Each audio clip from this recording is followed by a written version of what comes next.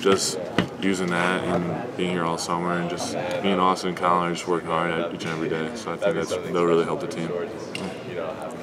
Jon, Ryan, Yum Hoops, nice to meet you. Nice to meet you. Um, so going through the season, I know that Coach Beilein was talking a lot about you developing your three-point shot. Um, how's that been so far? Have you how's that been feeling for you in practice? Or you feel like are you top of the key guy? Are you a corner guy? What's sort of been your so far? Um, I I love shooting around the top of the key, but it really kind of, I mean, just kind of depends. Whatever kind of runs through the offense, if it's there, I mean, I'm not going to force anything. Um, if I'm open, I'm open.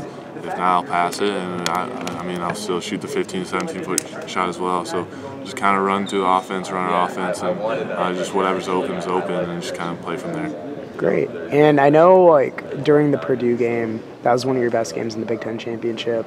What did you see in that game specifically that like gave you confidence, and what do you want to take from that to the season? Um, just, I mean, it was a big game, but just kind of going there, play my game. I knew going in there was, I mean, it was high stakes. It was our third time playing. We had lost the first two, and just doing what I could. I mean, offensively, that was I had a pretty good game, and so just take advantage of certain things here or there, and defensively just, uh, just play the best I could, and uh, just help the team win.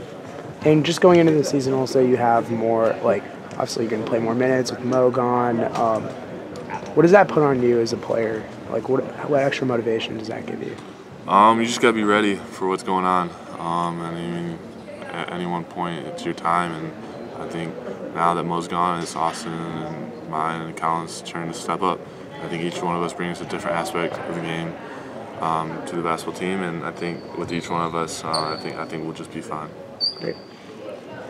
And what's your aspect in that? Like, what do you think out of the three of you guys, the biggest thing that you bring that's unique? Um, I'm just trying to help the team win, just offensively, defensively, just work on my game. I, uh, I'm able to score around the um, around the bucket, and um, also just shoot the ball too.